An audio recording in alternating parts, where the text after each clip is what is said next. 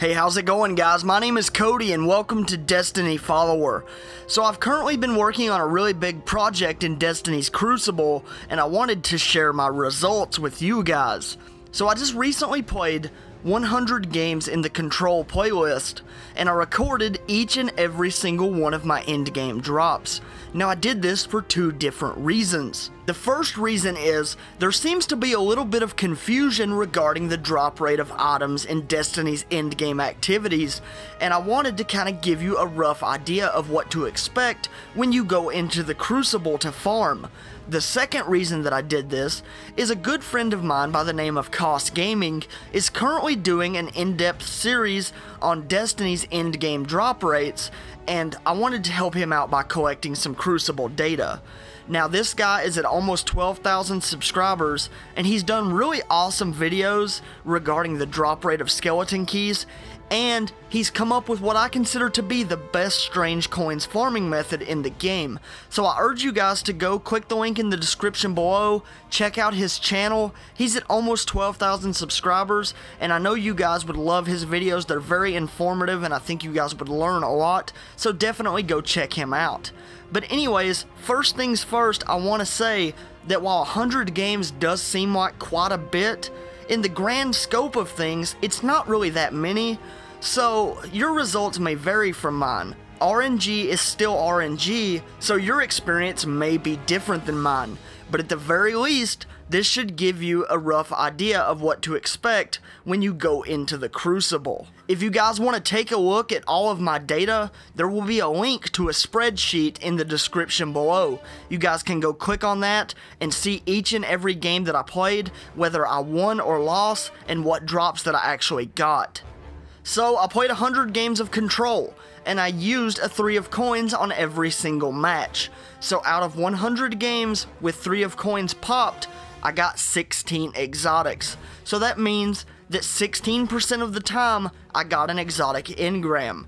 Now in the community, it's assumed that the drop rate for 3 of coins uh, exotics is around 20%, so that means 1 in 5. And while I didn't quite get to 20% on my test, I think it's safe to say that, you know, you can still kind of expect 1 out of 5 times you will get an exotic.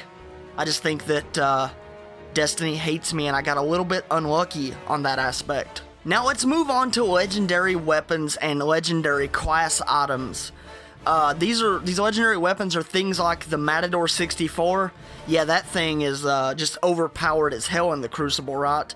Uh, the Ill Will, the Unending Deluge, and the Cryptic Dragon uh, these legendary weapons, I got 20 of these out of the 100 games that I played, so that puts them at a 20% drop rate or 1 in 5. Oddly enough, I didn't get a Hopscotch Pilgrim from any of these games that I played, so I'm going to be doing a follow-up project where I play 100 games of Clash and 100 games of Supremacy to see if maybe the Hopscotch and some of these other guns have a slightly higher drop rate in the other game modes.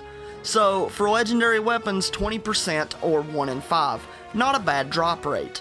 Moving on to legendary class items, these are things like the Warlock Bond and the Cloak and the, the Titan Butt Towel. These things have an abysmal drop rate in the Crucible. I was only able to get 5 of these out of the 100 games, so that puts these at a 5% drop rate, or 1 out of 20. So if you guys are looking for a higher light level class item, uh, the Crucible is not the place to farm these. You guys should go to Archon's Forge. It just seems like the Archon's Forge drop rate for class items is much better than the Crucible drop rate. And finally, let's talk about Motes of Light and strange coins. So out of the 100 Crucible games, I got 30 strange coins and 38 motes of light. So that's not a great drop rate for these. There are much better farms to get these items, but it is nice that you do get these additional sort of currency items to use while you're farming, say for example, a God Roll Matador 64, so you can piss some people off in the Crucible. It's a nice little added bonus, and you are earning motes of light through experience when you win games and when you finish games, so overall, getting motes, it's not terrible in the Crucible, but there are better methods. So that about wraps up today's video. Hopefully you guys found this information helpful and hopefully you enjoyed the video.